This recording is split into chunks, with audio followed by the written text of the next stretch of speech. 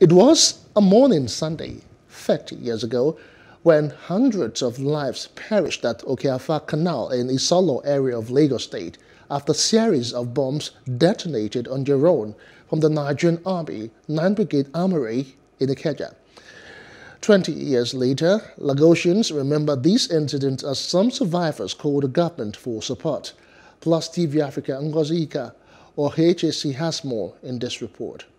It's 20 years ever since the bomb blast at the Ikeja cantonment occurred in Lagos, which took the life of thousands of people, thousands of children being separated from their families, and a lot of people rendered homeless in Lagos.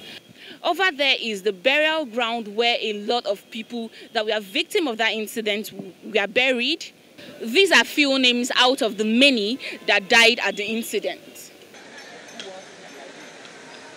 In the past, a memorial holds here yearly, but that's not to be now.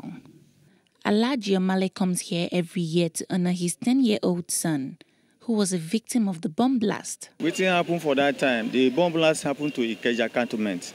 As it happened there, our children and our father, our mother, they run from Ikeja, reach Mafoluku, from Mafoluku to Airport Road, from Airport Road to Kana. Omale does not seem to have fully recovered from the trauma of losing his son. My pikin died, he entered the canal. So as he entered the canal, nothing I can do. By that time, I no get job. So they bury him too here. And since there, the beg governor of uh, Lagos State, make he help us settle this matter for us. Some of our, our neighbor, they get stroke. Some of them die. As I talk to you now, my wife is late. Now, I beg government to help us, Lagos State government to help us. 20 years is a long time for people to forget some incidents. However, on the streets, some recount their experiences as fresh as can be.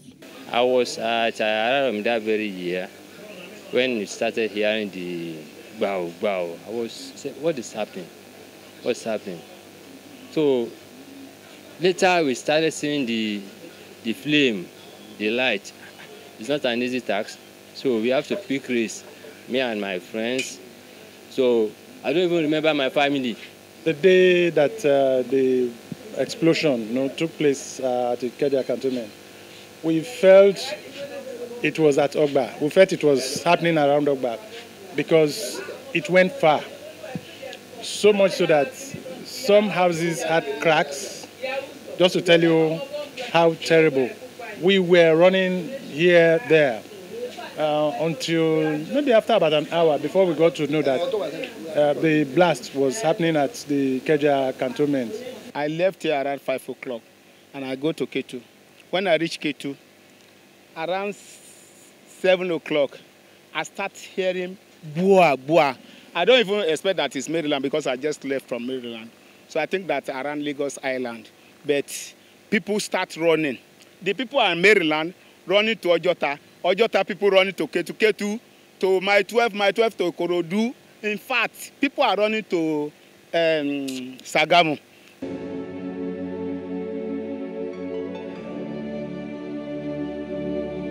For Plus TV Africa, Ngozi Ika or HSC.